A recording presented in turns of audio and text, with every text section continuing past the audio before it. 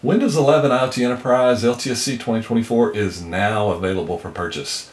And with that comes a huge amount of benefits over Windows 11 Pro.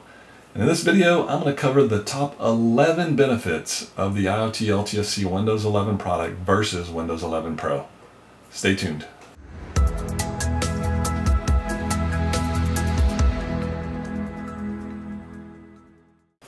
All right, great news. Windows 11 IoT Enterprise LTSC 2024 is now available. We've been waiting for this product for a long time, but come to Arrow, we can hook you up. It is now available. And today I'm going to go over the 11 benefits of Windows 11 IoT Enterprise LTSC versus Windows 11 Pro. If you're an OEM building an appliance, some type of fixed purpose, special purpose device, not for general use, you should not be using Windows 11 Professional or Windows 10 Professional for that matter. You should be using the Windows IoT family of products, both the Windows 10 IoT Enterprise LTSC and the Windows 11 uh, IoT Enterprise LTSC. Let's jump into the top 11. It's going to have a long life cycle with the product being available for 10 years. Now, I'm not talking about the support, I'm talking about the availability of the actual product itself. And uh, by that, uh, what I mean is, in comparison to Windows 11 Pro, that product right now doesn't have an end of life date because a new product has to come along to replace it, and that would be Windows 12. So you don't really have um, a life cycle or a good roadmap because you don't know when Windows 11 could go away. As soon as Microsoft launches Windows 12, well then the, the clock starts ticking on Windows 11 Pro and you could end up in a situation where you would have to buy Windows 12 and then exercise downgrade rights and things get really messy really fast. Well, with the Windows 11 IoT Enterprise LTSC 2024 product, it has a long life cycle of 10 years. It's going to be available for 10 years. You're going to be able to buy and sell it for 10 years. That helps you design your uh, life cycle for your IoT appliance. Let's take a look at number 10. Regulatory compliance for industries like healthcare, gaming, and aerospace, as well as many other industries, but those are the top ones that typically have some form of certification or industry certification. It typically has a lot of requirements and uh, things that, uh, honestly, Windows IoT fit perfectly for. You know, you're going to want something with that's secure, reliable, that will meet all of the industry certifications that uh, these different industries have, and the Windows IoT family of products have that as well as the Windows 11 IoT LTSC. Take a look at number nine. Enhanced system performance streamlined. So what do we, what do we mean by streamlined? Uh, streamlined means this product is almost what I would say bare bones, but it's not bare bones in a sense that doesn't have a lot of features, which we'll, we'll, we'll touch on in this, uh, in this top 11 list. Um, this product is streamlined in a sense that a lot of things that you would need for an appliance um, or for you know uh, things that you don't need for an appliance are removed. And that would be things like um, the store and Xbox and weather and news uh, as well as a number of little things are pulled out of the product but it's still based on full Windows Enterprise. So you're going to get all of those Windows Enterprise features as well as some other IoT benefits which we'll, we'll cover. But it's streamlined small footprint, ready to run your application. That's what you want. All right, number eight. Reduced maintenance, quality updates only. So just like previous long-term service channel products, the LTSC uh, version of Windows 11 only receives quality updates. Quality updates consist of security patches, hot fixes, um, and anything to make the product reliable and secure.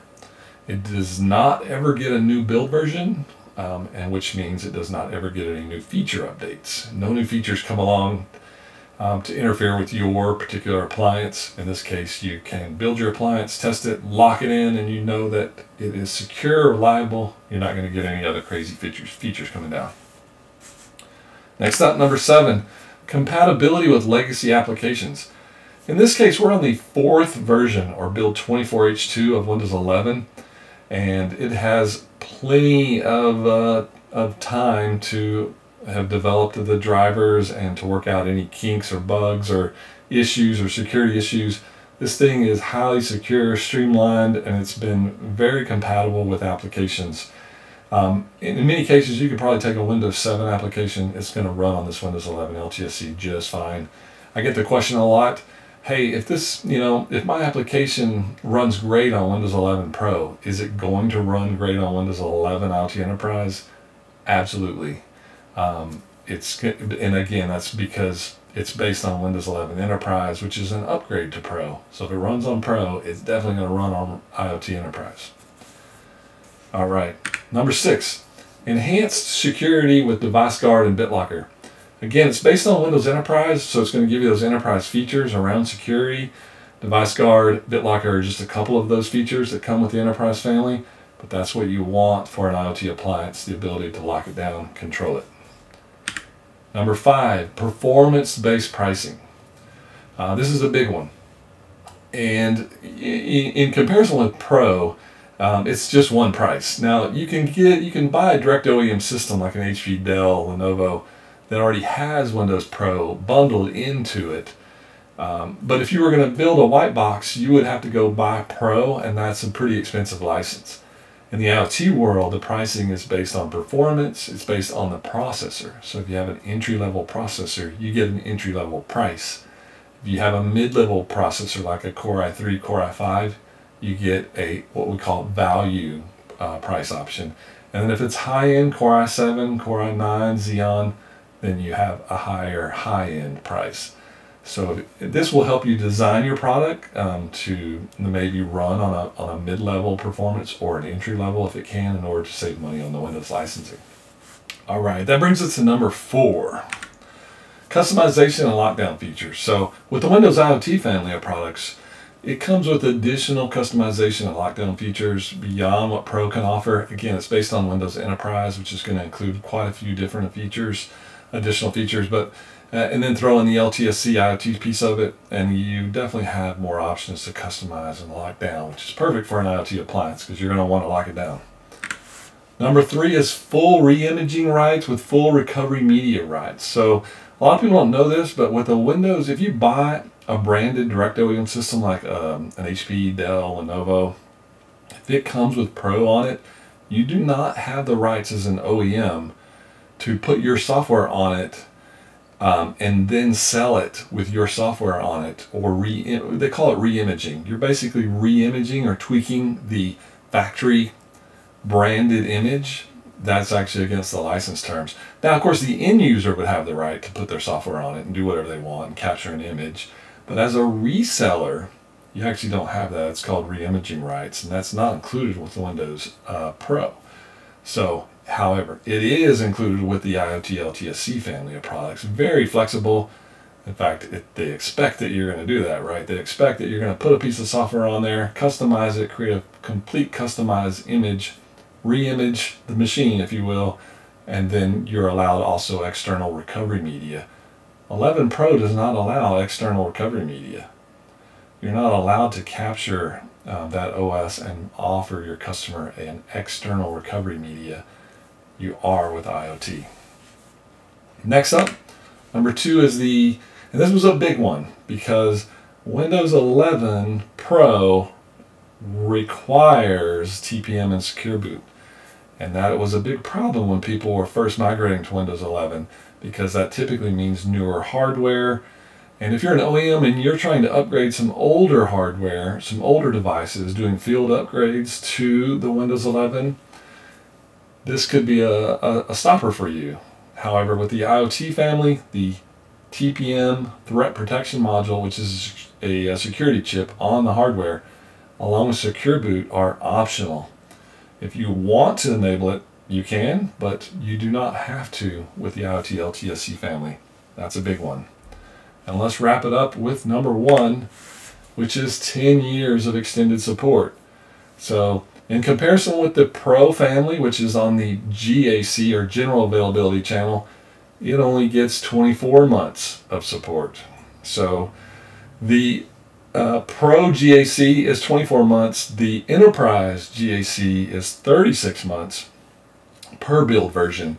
And then with the Windows 11 IoT Enterprise LTSC long-term service channel, you get 10 years of support. It locks you into build 24H2, 10 years of support.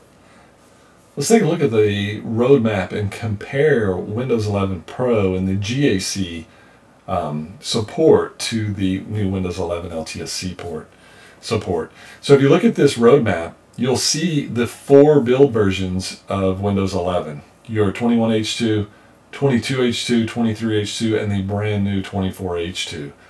So the Pro version, which falls under GAC, General Availability Channel, Service Channel, only receives 24 months of support per build version. So you're going to be using Windows Update to constantly update your system to a new build version in order to stay within that 24 month period. And you can see 21H2 is not even supported anymore. You have to be on 22H2 in order to get security patches and be supported. And that's going to run out in October of 2024. You will have to move to 23H2 before that date in order to continue to be supported. So as an OEM building an appliance, this is terrible.